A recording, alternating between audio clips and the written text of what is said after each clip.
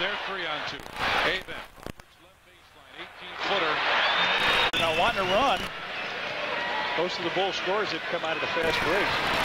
Avent takes it in. Morris to pop out. Now PJ from the left side. Cartwright with a rebound, lost it.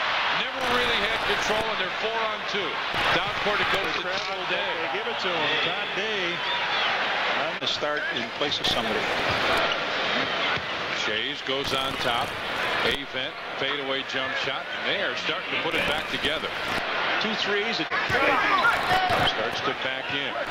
Scottie Pippen has got him. Avent going to work on Horace Grant. They try the same.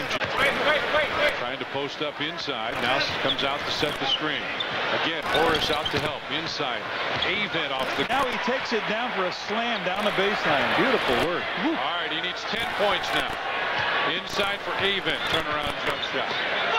And Avent quietly gets the job done for him, doesn't he? He stays out everybody's way. Brock. Avent wanted it inside.